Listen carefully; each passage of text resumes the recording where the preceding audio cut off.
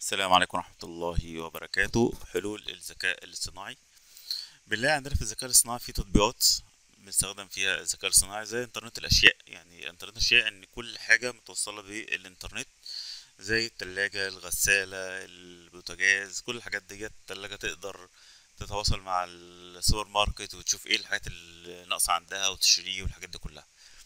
وإن هي تاخد القرارات حاجات الذكاء الصناعي إن هو يقدر إن هو ياخد قرار يشوف أفضل حل ممكن وياخده. معالجة اللغة الطبيعية إن أنا بتكلم قدامك اهوت واللي هو بقى بيحول الكلام دوت لحاجة مكتوبة ويبدأ إن هو يتعامل معاها.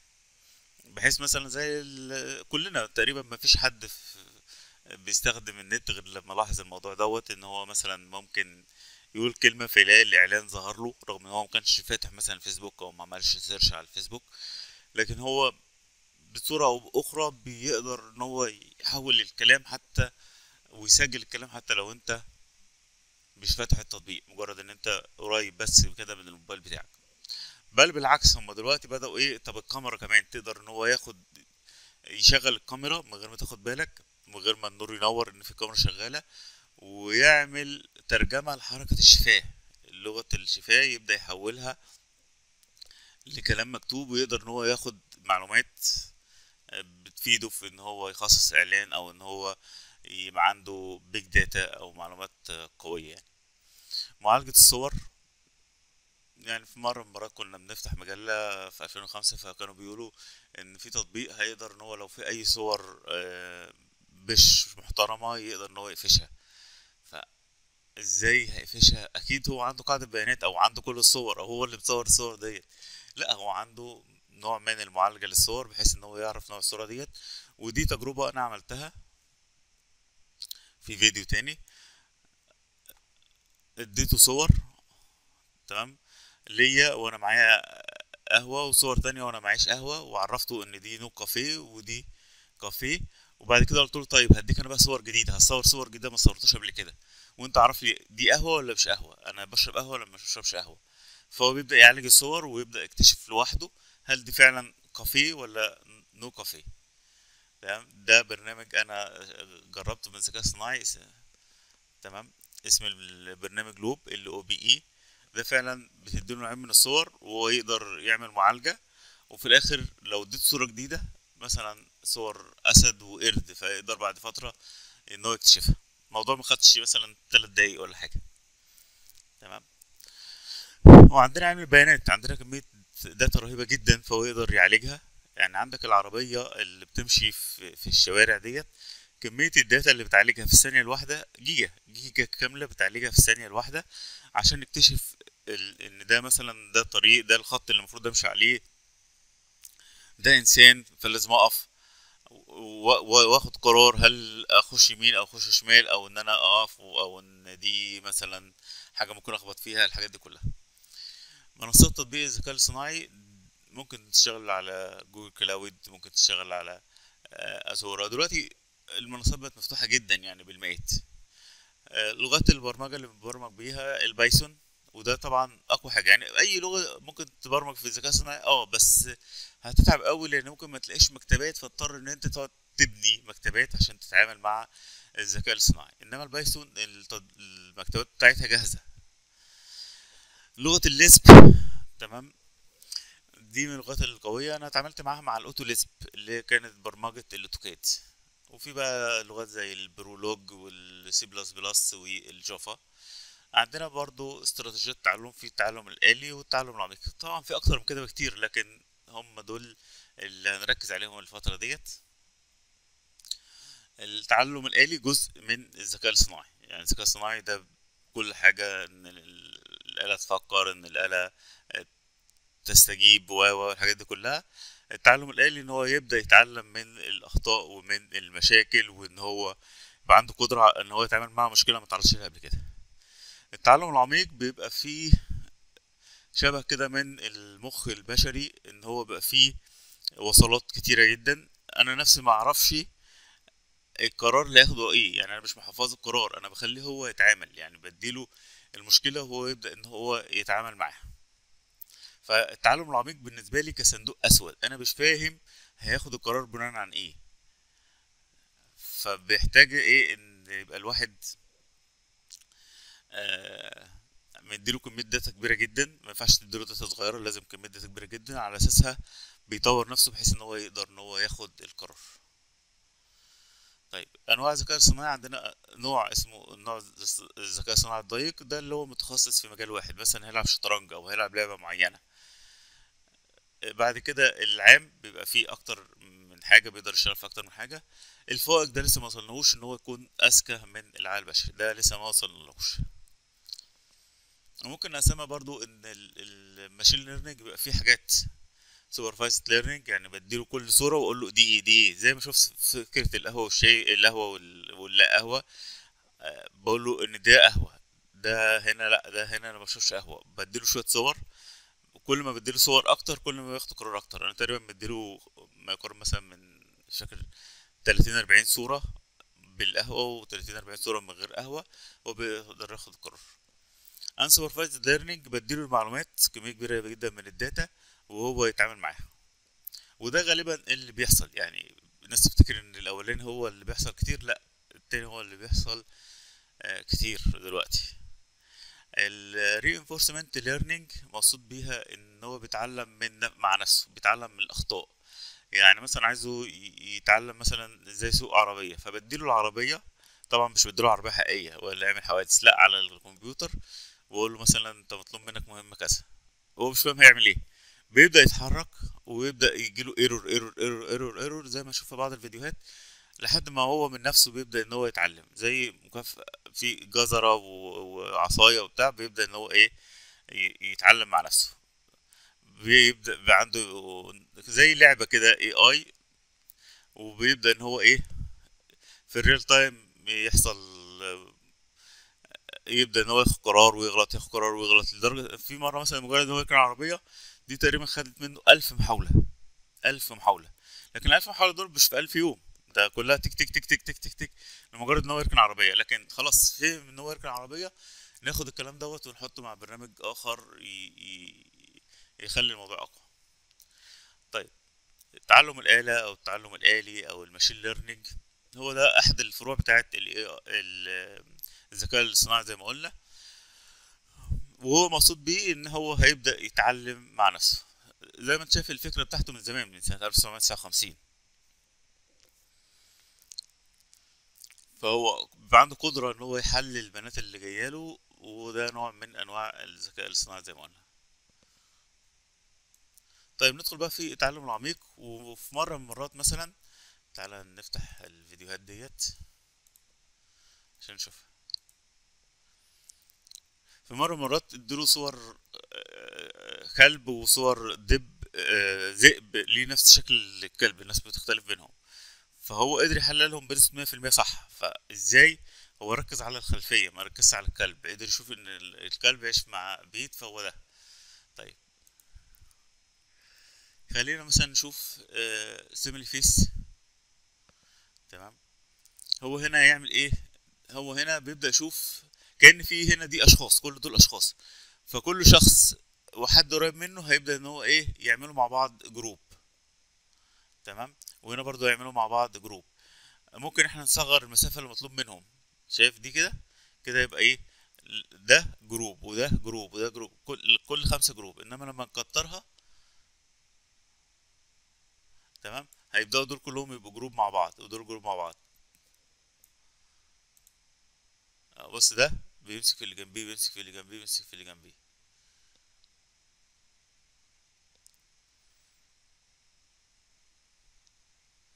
أول ما يقف يبدأ يجيب لون تاني بحيث إن دي group تاني.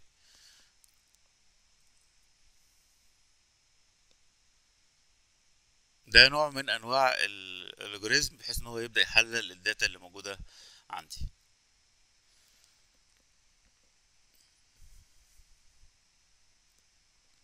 دي بقى زي إيه؟ زي مثلا ممكن أديله مثلا وش بني آدم مثلا فهو يبدأ يحلل إن دي مثلا الفم وده كذا وده كذا فلما أديله صورة تانية يقدر يعرف هل الصورة دي مبتسمة ولا الصورة دي حزينة. تمام؟ فهو كده حلل لي الشكل. ممكن لو غيرت القيم تيجي لك بشكل مختلف. طيب Dear fellow scholars, this papers with ده بحث مهم جدا جدا في موضوع الذكاء العميق. هنا أنا عندي فريقين فريق بيهرب وفريق بيجي يقبض عليه فبنسيب ده يجرب وده يجرب وده يجرب وده يجرب والذكاء الصناعي يعني أنا ما بتدخلش اثناء التجربة ما فيش أي حد بيدوس على زرار لكن هم من نفسهم بيتعلموا التجارب بتاعه بعض تمام؟ فأول مرة دول قبض عليهم تاني مرة قال لك طب ما إحنا نسد الحاجة. تمام؟ بدأوا يهربوا عليهم قبض على واحد تمام؟ أهو. التجارب دي فضلت كتير جدا لحد ما هو الذكاء الصناعي اكتشف حاجات ال- المبرمج نفسه ما كانش حاططها. يعني اكتشف خطأ في البرنامج ما كانش المبرمج نفسه عارفها. إحنا كده عندنا فريقين والفريقين عندهم ذكاء اصطناعي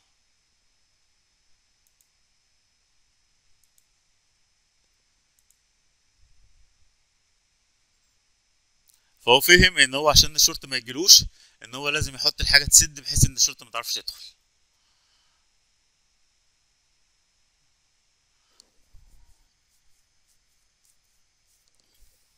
آه قفلها فدول مش عارفين يقبضوا عليهم. الشرطة بقى كذا مرة تفشل إنها تقبض عليهم. بعد كده اكتشفوا حاجة إن هو لو حط الجزء المايل دوت هنا يقدر إن هو يقتحم عليهم المكان اللي هم قاعدين فيه.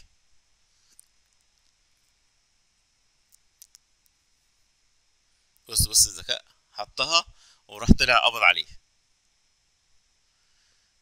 تمام؟ فالتانيين برضو بدأوا يفهموا حاجات يعني بص آه خد. خد خدت بالك؟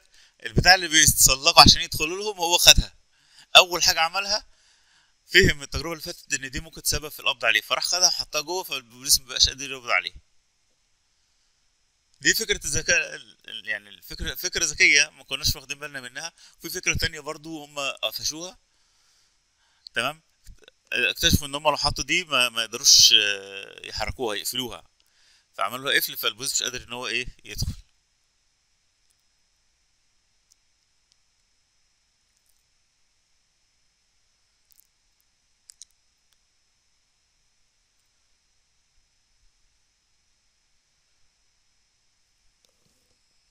بيقفل عرف ان هو يقفل تمام؟ في فيديوهات كتيرة بنفس ال- الفكرة ديت بس هي فكرة لذيذة يعني بس قفل فمش عارفين يقبضوا عليهم.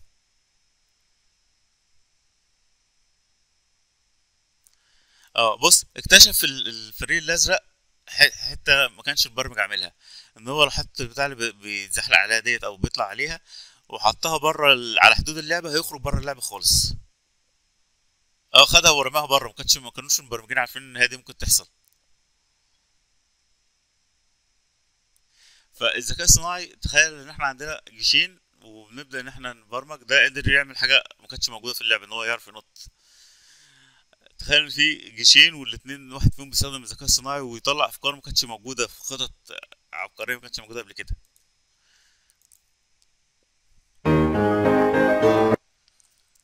دي reinforcement learning. هو عايز يركن. تمام؟ آه. هنا اتنين.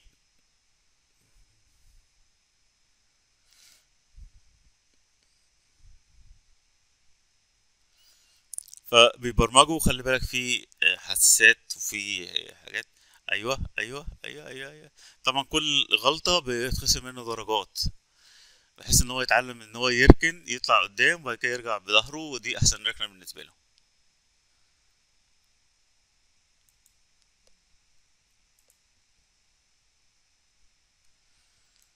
إيه. اللي عايز يدور عليها AI Learn to Park.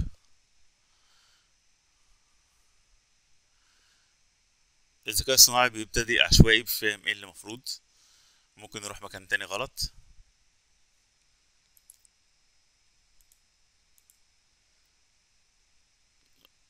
أي بيخسر نقط. تمام؟ فيعرف إن الحركة دي ما ينفعش إنها تتعمل. بيركن في مكان تاني خالص. آه بدأ إيه؟ يركن صح. بدأ يركن صح. خلاص اتعلم أهو. تجربة رقم كام؟ تلتمية وعشرة ألف. لكن في الآخر خلاص اتعلم السواقة. دي دي فكرة ال- الذكاء الاصطناعي.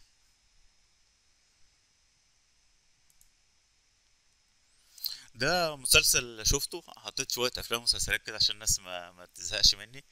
ده فيلم مسلسل اسمه Person of Interest الراجل دوت اللي لابس نظارة. بي- بيعمل آلة بس عبارة عن صندوق أسود اللي هو deep learning التعلم العميق. إن أنا مش فاهم أصلا هو بيعمل إيه.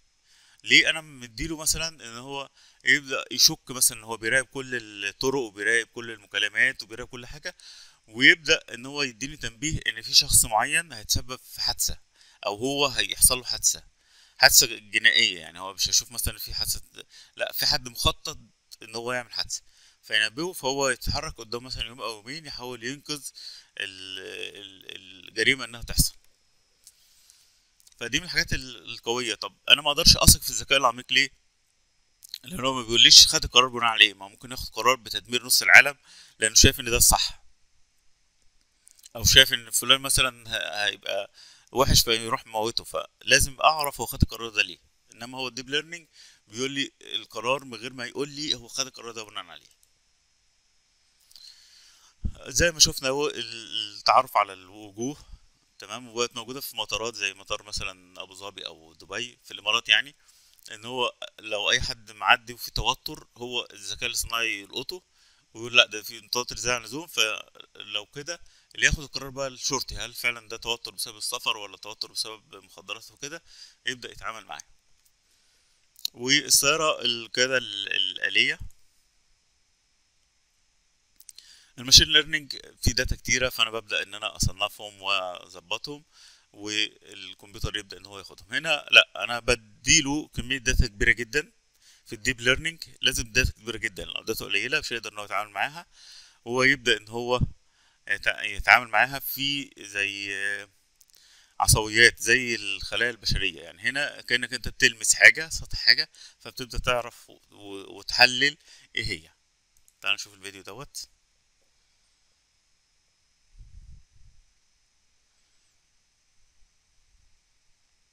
آه هنا المفروض ان نشوف السيارة هتمشي. آه كل سيارة بتمشي غلط تمام؟ كل واحدة فيهم بتبدأ تتعلم من التجارب بتاعتها السابقة. تمام؟ بيبدأ يحلل البيانات اهوت. دي كلها زي خل- الخلايا العصبية اللي في جسم الإنسان اهو. بدأ كل مرة بيبقى أحسن من اللي قبليها.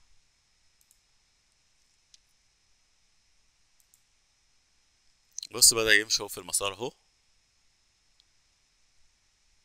ما شاء الله.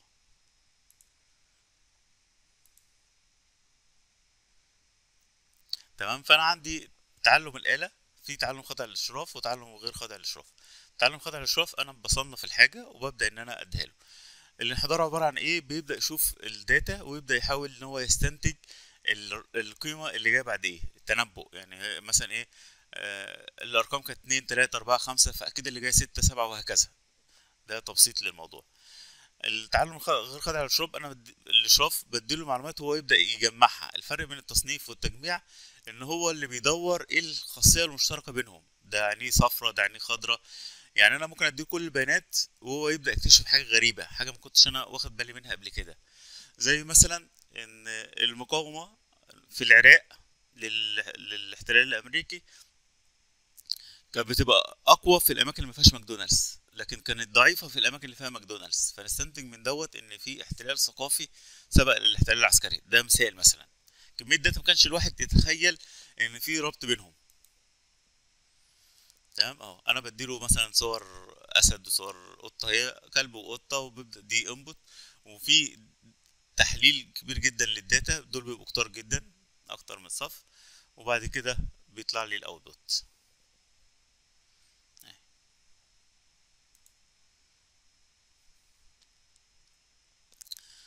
كل الحاجات دي موجودة جاهزة. ال- تقدر تطلع على الشفرة بتاعتها وتقدر إن أنت تستخدمها عندك جاهزة.